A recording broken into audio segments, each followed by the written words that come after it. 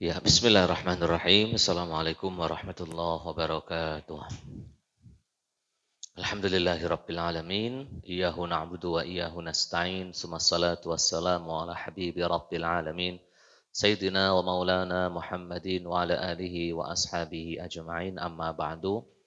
Allahumma ja'al jam'ana jam'an marhuma wa tafarruqana min ba'd dzalika tafarruqan ma'suma. Wala taj'al fina syaqiyan wala mahrumah. Ikhwati fillah. Alhamdulillah. Pada ahad yang kelima ini Allah mudahkan kita kembali berjumpa. Seperti biasa jika ada ahad kelima kita akan mempelajari, mentadaburi mutiara-mutiara hikmah yang ditulis oleh Ibnu Athaillah As-Sakandari dalam kitab Al-Hikam. Sudah lima hikmah kita jelaskan. Masuk sekarang hikmah yang ke-6.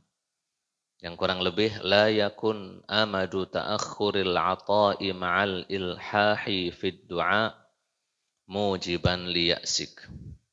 Fahuwa dhamina laka listijabata fima yakhtaruhu laka. La fima takhtaruhu linafsik wa fil waqti alladhi yurid la fil waqtil ladzi turid. Kemarin hikmah yang kelima kurang lebih berbunyi kalian capek-capek mencari sesuatu yang sudah dijamin Allah. Justru males mengejar sesuatu yang belum dijamin adalah ciri-ciri mata hati kalian hilang cahayanya. Iya. Nah sekarang menyempurnakan. Menyempurnakan. Karena tiap orang punya keinginan masing-masing, ditempatkan di posisi masing-masing. Ada yang Allah tempatkan di posisi asbab, kemarin sudah kita jelaskan, masih punya banyak tanggungan, anak, istri, adik, bapak, emak, kakek mungkin. Ada yang posisinya sudah tajrid, sudah Allah rehatkan dari mencari kehidupan duniawi. Tinggal ibadah. Salah satu bentuk ibadah itu adalah doa. Dalam banyak ayat juga hadis kita disuruh berdoa. Dan dalam doa ada janji dikabulkan. Ud'uni astajib lakum. Berdoalah kepadaku. Aku akan mengabulkan kalian. Istijabah doa-doa kalian. Dalam realitanya, terkadang doa-doa yang kita munajatkan pada Allah subhanahu wa ta'ala tidak kunjung terkabulkan. Iya. Padahal setiap hari juga doa. Setiap sholat juga doa. Enggak dikabul-kabulkan juga. Harapan-harapan, cita-cita, keinginan yang kita munajatkan, kita doakan itu sering kita sampaikan pada Allah. Tapi terkadang belum terwujud. Nah kata Ibu Athaillah, waktu kalian yang lama dalam berdoa dan belum terkabul, belum terrealisasi, jangan sampai membuat kalian putus asa. Kenapa? Kenapa jangan membuat putus asa? Makna, makna globalnya kata Ibu Athaillah, Allah menjamin pengkabulan doa pada hal-hal yang Allah pilihkan untukmu, bukan yang engkau pilih untukmu sendiri. Pada waktu yang Allah kehendaki, bukan waktu yang engkau tentukan. Gampang ya. Saya ulangi lagi makna globalnya. Hmm. Makna globalnya hikmah sini. Kalian doa sudah berusaha nggak kesampaian, nggak terrealisasi, belum terwujud. Pengen mungkin punya mobil, kok belum terwujud. Pengen ada duit untuk melunasi rumah, belum terwujud.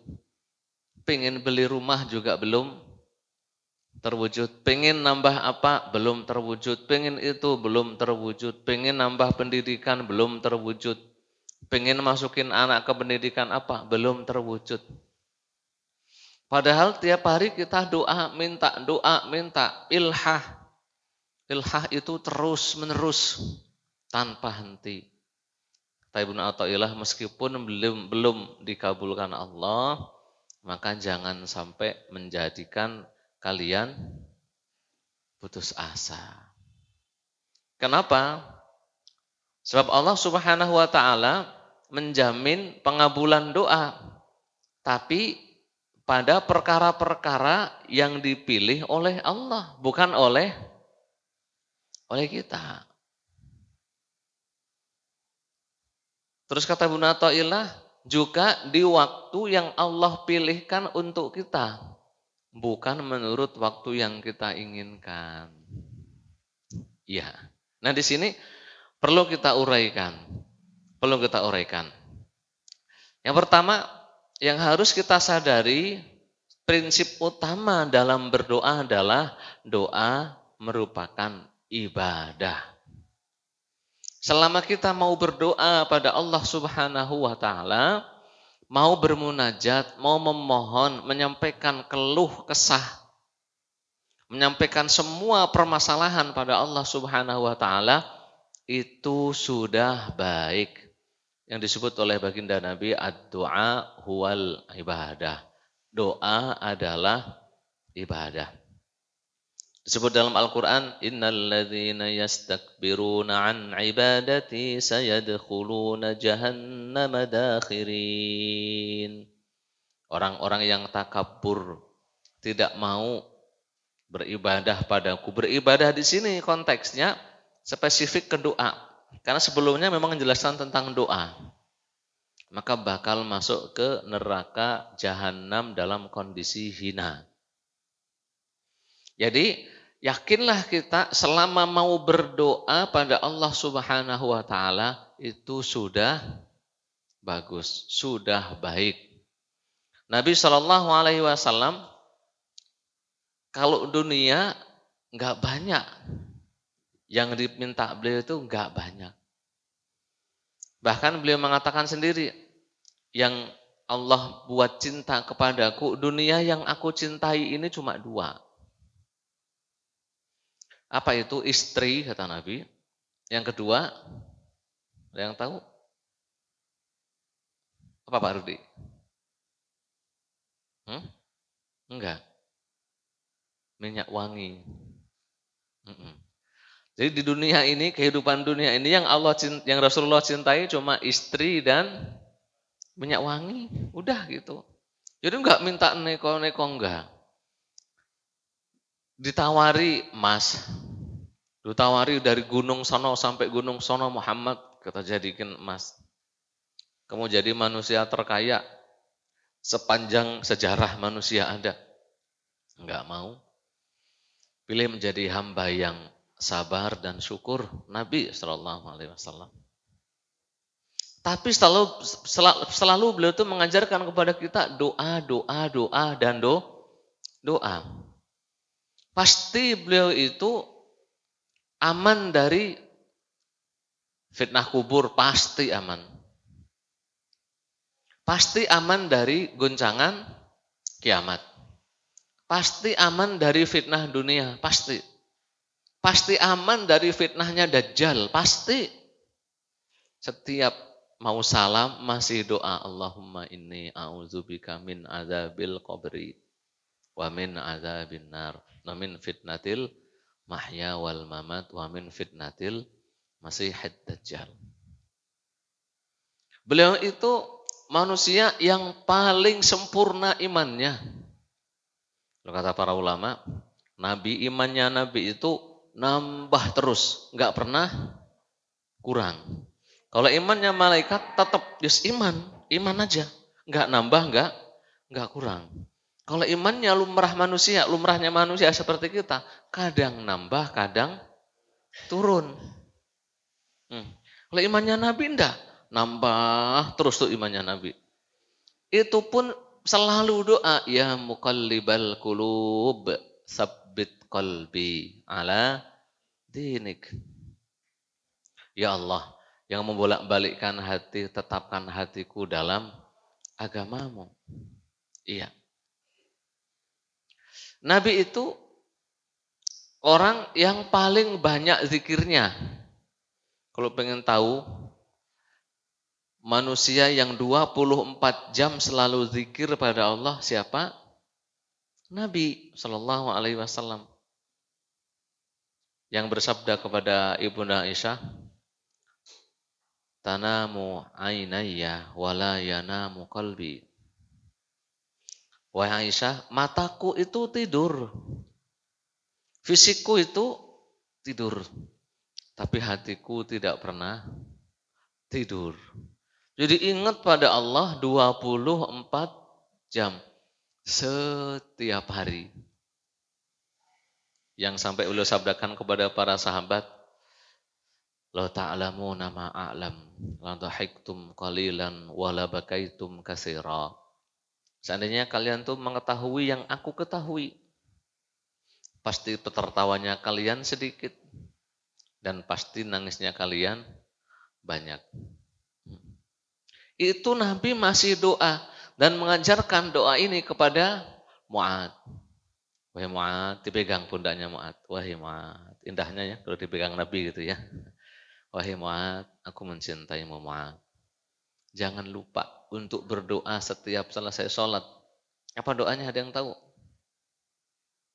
Allahumma a'inni ala zikrika wa syukrika wa husni ibadatik. Ya. Jadi doa itu ibadah. Selama kita mau berdoa, memunajatkan keinginan, harapan, cita-cita, impian-impian kita, mau kita munajatkan, kita mintakan pada Allah, percayalah kita sudah berada di jalur yang benar. Iya. Jangan mikiri ijabah dulu. Jangan mikir dikabulkan dulu, jangan. Yang penting kita hanya mau ibadah ini. Lianna doa wal ibadah. Karena doa adalah ibadah. Ibadah. Ibadah yang paling gampang. Ibadah yang paling paling mudah. Itu poin yang pertama. Kalau Nabi yang begitu dijamin semuanya masih terus terus terusan doa, istighfar, zikir, masih doa pada Allah Kenapa? Karena bagian dari ibadah mengajarkan kepada kita doa bagian dari ibadah. Kemudian yang kedua, ikhwatal iman yang diulakan Allah Subhanahu wa taala. Iya. Doa disebut doa berbeda dengan permintaan. Doa itu ada istilah secara syar'inya, ada makna doa secara bahasa. Doa secara bahasa artinya tolabaya telubu, minta. Minta. Nah secara istilah, doa itu enggak hanya sekedar minta. Tapi apa? Permohonan yang dimunajatkan seorang hamba kepada Robnya, kepada Tuhannya, menggunakan adab-adab dan tata cara khusus. Jadi bedakan antara minta dan doa. Doa itu tingkatan yang lebih daripada minta. Terkadang yang membuat permintaan permohonan seseorang tidak dikabulkan Allah Subhanahu wa taala adalah karena dia merasa sudah minta, benar.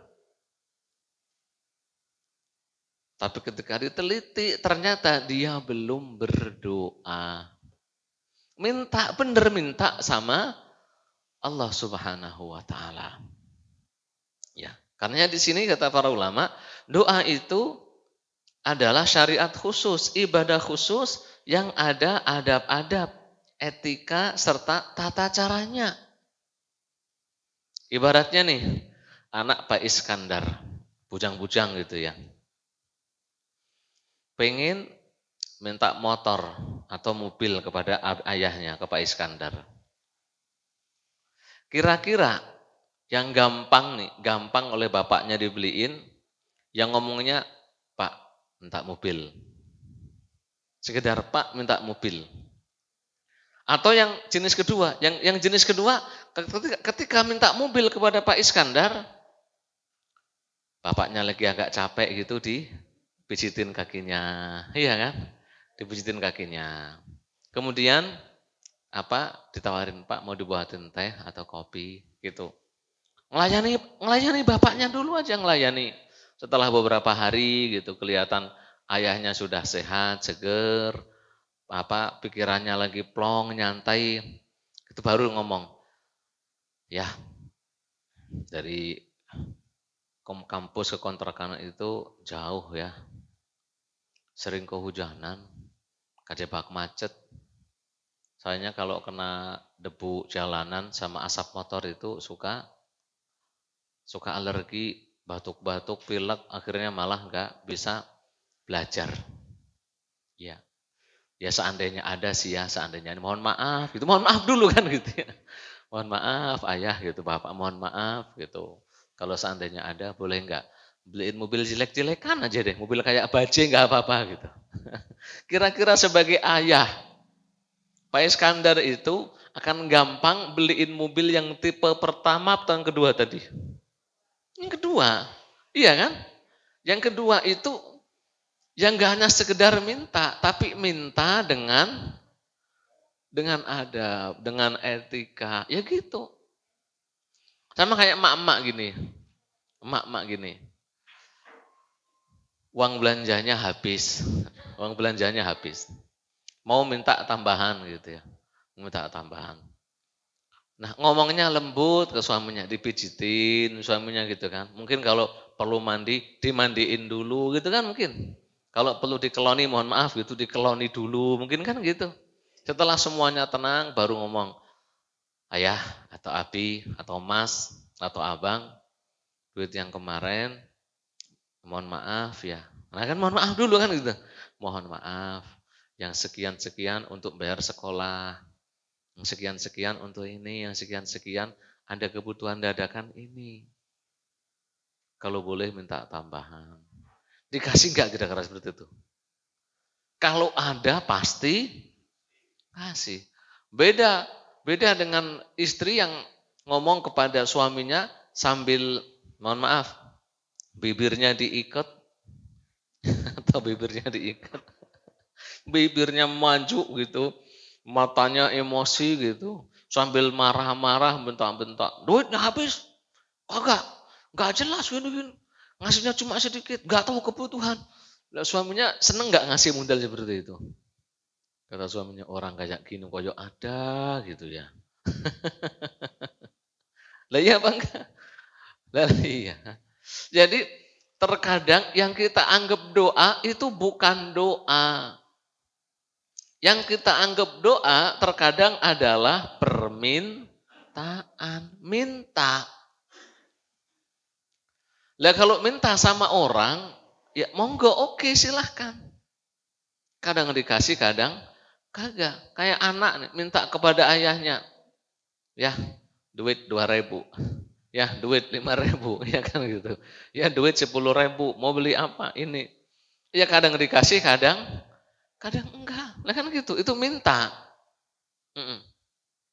Kenapa si anak merasa minta kepada bapaknya Ya karena bagi anak yang buat saya kan dia.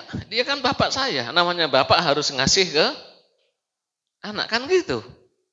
Nah sekarang bisa enggak analogi seperti ini kita terapkan pada Allah. Walillahil masalul a'la.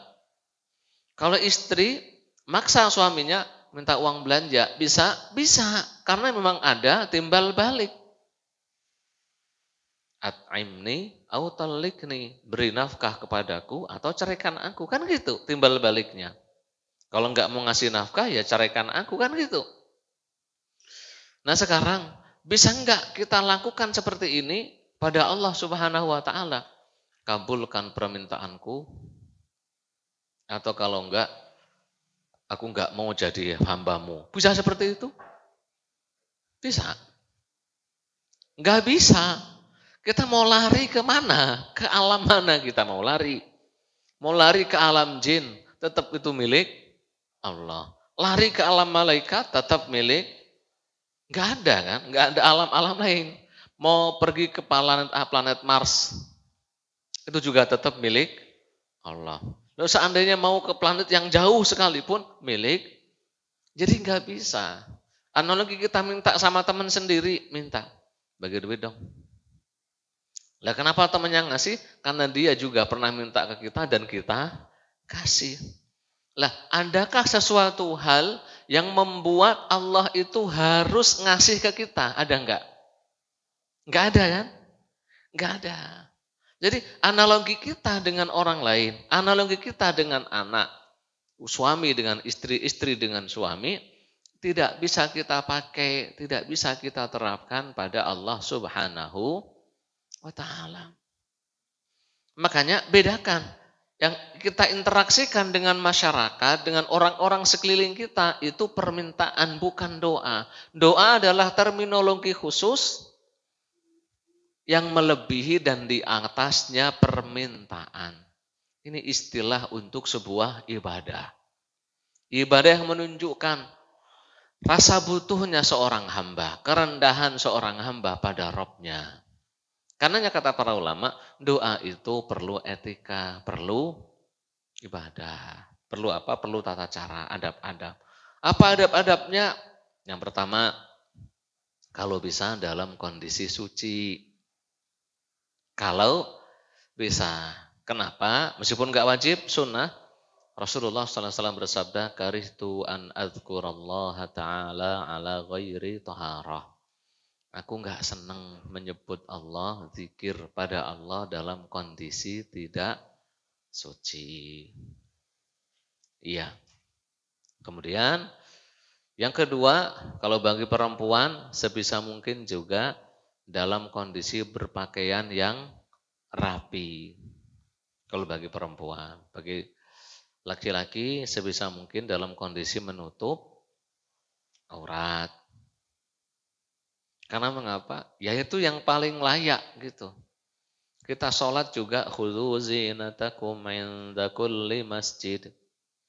Tutuplah auratmu gitu setiap sholat. Yang ketiga, diusahakan menghadap kiblat. Karena mengapa? Di anal kiblata asyraful jihad. Karena kiblat itu adalah arah yang paling mulia. Yang paling diagungkan oleh Allah Subhanahu wa taala adalah arah kiblat. Sebisa mungkin menghadap ke kiblat.